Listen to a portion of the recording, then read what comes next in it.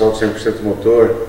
Hoje é só para relembrar velhos tempos, vamos dizer assim, e explicar um pouco de um problema que a gente tem visto no mercado hoje em dia. Isso é uma Maverick V8 original. Foi muito famoso na época dele é famoso hoje, é um carro clássico, nacional. É, muito valorizado, muita gente quer esse carro. Que acontece é que esse carro o dono está acabando de reformar, ainda tem um monte de coisa que ele quer inventar aqui, vai fazer. Ele está legal no geral, mas tem uns acabamentos internos, enfim. O problema é o carburador. É um. Eu tenho conversado com várias oficinas, principalmente o pessoal da antiga. Tem muita oficina nova, de muito mecânico novo, até muito bem intencionado, alguns que fizeram vários cursos de injeção, mas que não aprenderam a mexer com carburador. Ainda mais um caso desse, que é um carburador quadrijet que não saía de fábrica no carro, é um carburador é, aftermarket americano, é, um Role quadrijet. E esse carro acabou vindo para cá para poder fazer uma regulagem do motor. A gente substituiu o distribuidor ele tinha um distribuidor que já estava muito danificado, muito futricado, que é outra coisa que a galera não mexe muito hoje, então não tem muita habilidade.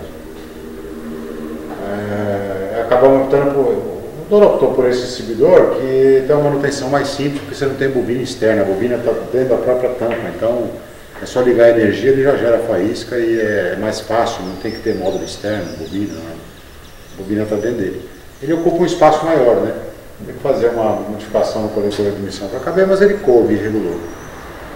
E o carburador, que é um, é, é um negócio é, real, é realmente um pouco chato de fazer. Só que tem que ter um bom conhecimento de como o carburador funciona, ainda demais esses carburadores. E quando você compra um carburador desse novo nos Estados Unidos, ele não vem pronto para o carro.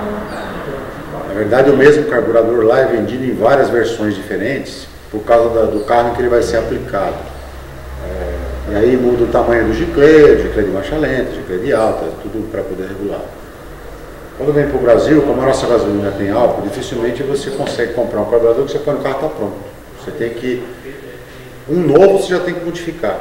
Tem que acertar para adequar ele ao nosso combustível. Diferente de injeção, quando você põe injeção programável num carro, você mudou do combustível, você põe o computador de programa ou um carro original já injetado que você segue o padrão de fábrica. Então é só para mostrar é, que ainda tem esse tipo de trabalho no mercado. Quer dizer, fora esse carro tem outros carros até mais antigos que andam carburados e os proprietários não querem adaptar a injeção. Os que andam mais querem para diminuir a dor de cabeça. Ficar muitos dias com o carro parado, o carburador entupido, não funciona direito. Agora, quem quer manter o carro original quer manter o carburador.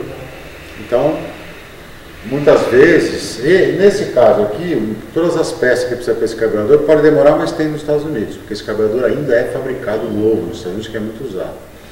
Mas existem outros carburadores que a gente vai fazendo o que pode, às vezes tem que fabricar peça, porque não tem mais no mercado, principalmente dos carros importados. Mas era só mais uma, uma dica de Depende do, da área da mecânica que vai trabalhar, se vai tender a mexer uma ou outra vez com o carro antigo. A galera tem que se familiarizar com o carburador e aprender a mexer, porque apesar disso, nenhum carro novo sai de fábrica mais com carburador no mundo inteiro, só tem injetado.